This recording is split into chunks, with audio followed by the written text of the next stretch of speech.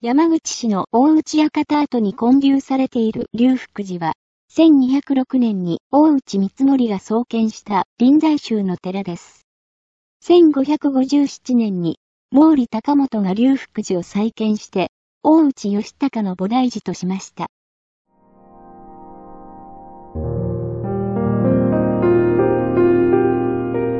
龍福寺のもみじはそれほど多くはありませんが、参道の両側に立ち並ぶもみじは、まさしくもみじのトンネルのようです。10年前からたびたび訪れていますが、外国の方を含めて観光客が増えているようです。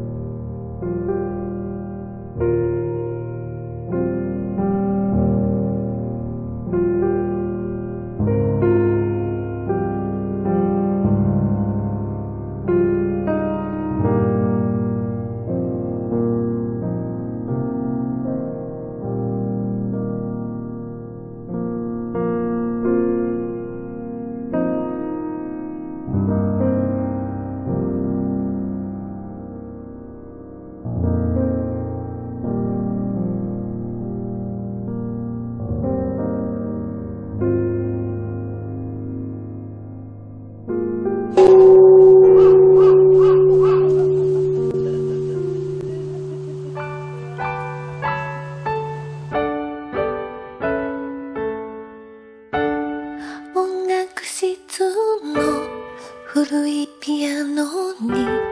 もたれて歌ったねしてるまだ君のことまだ知らないのになぜか懐かしくて Friend 木漏れ日も一緒に Friend クスクスは